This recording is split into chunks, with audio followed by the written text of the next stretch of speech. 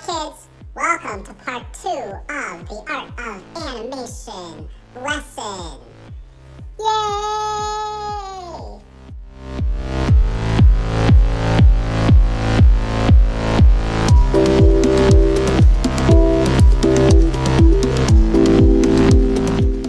Last week you learned about the history of animation.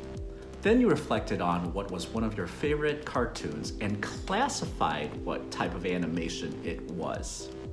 Now, today we are going to look at a couple of clips by animator Alan Becker, who talks about the first two principles of animation squash and stretch, and anticipation.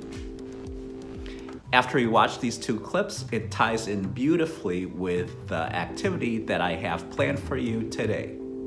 Hey guys, so I decided to make a video series dedicated to the 12 principles of animation, as described by the legendary animators Frank Thomas and Ollie Johnston. So the first principle is squash and stretch. This is the principle that animated objects will get longer or flatter to emphasize their speed, momentum, weight, and mass. Here's a bouncing ball that has squash and stretch. And here is one without squash and stretch. See the difference? The amount that an object squashes and stretches says something about its mass.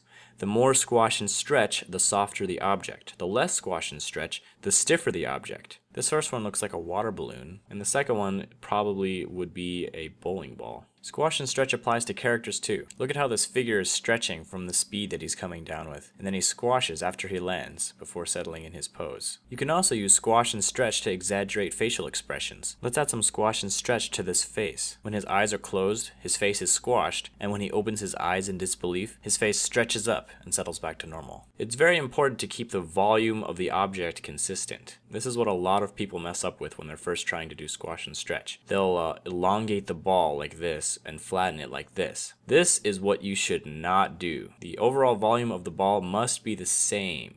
So as the ball gets longer, it also gets narrower.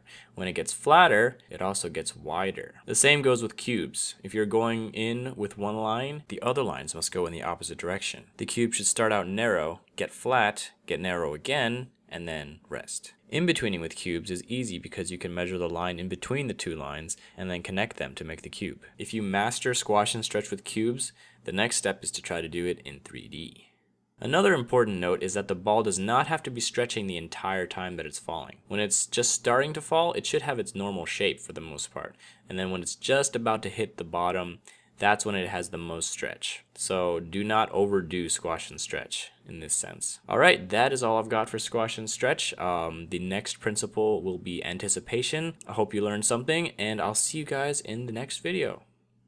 Alright, the second principle of animation is called anticipation. This is when a character prepares for an action to give the audience a clue as to what is happening next, as well as to make the action appear more realistic. One example is when a character is about to jump. Before leaping into the air, he has to prepare for the action by crouching down to build energy. It's like a spring that coils up before releasing. Look at this character jumping without any anticipation.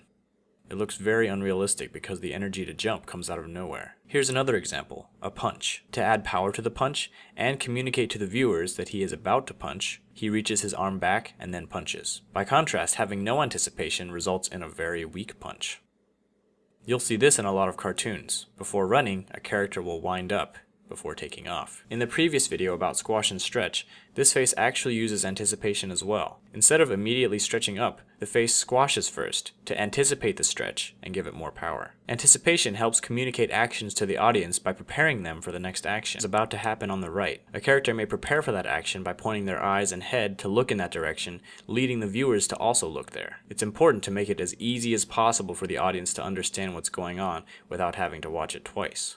But this can also be used to trick the audience too, if you lead their eyes in one direction and then surprise them by having something happen on the other side of the screen. Taking anticipation a step further, you can actually have multiple levels of anticipation. Let's go back to our punch animation, where the character winds up before punching. This animation has one level of anticipation. Now look at this one. The character is actually winding up for his wind up by going forward, then winding up, and then before punching, he throws his other arm back to further anticipate the punch. This punch is very complex. It's actually similar to what a baseball pitcher does when he's getting ready to throw the ball. Alright, that's all I've got for anticipation. The next principle is called staging. So thanks for watching, and I'll see you guys in the next video. In my opinion, I think all of Alan Becker's tutorials are very helpful. There are a total of 12, but for time's sake, we only watch the first two because those directly tie in to our drawing activity. So that being said, get your sketchbooks out.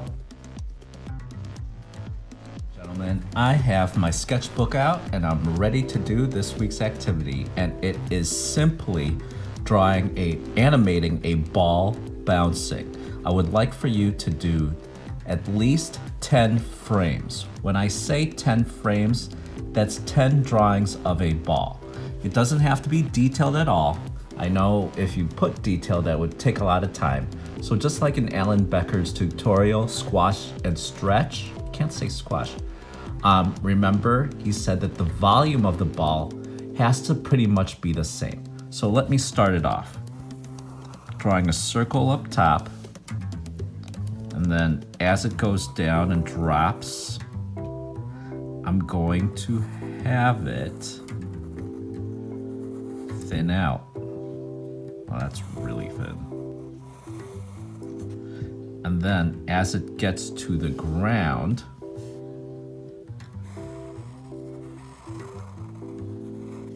that's almost, that would even look like a, what would it look like? A water balloon there. That's about right. There. And uh, there. Looks like a blob. So I drew one, two, three, four, five, six, seven, eight, nine. Oh, I need to draw one more. And I'm here. I'm not cheating. That's not cheating. Ball is bouncing, or the water balloon is bouncing out of the page, right? So you don't have to do these arrows. Animators like showing the direction that the object that they're animating is going. And there you go. That's all you gotta do. Share that on Seesaw and you are set. What do you think, Baby Yoda? Stop drinking your coffee. You like it?